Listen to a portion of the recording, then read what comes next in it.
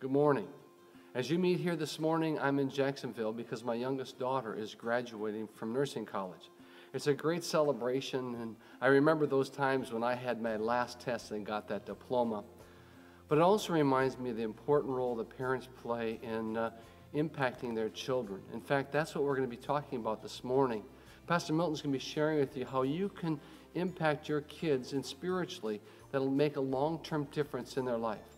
So I know that God wants that to happen for your kids, and I know that, that you want that to happen for your kids. So today, learn, enjoy, and see what God will do.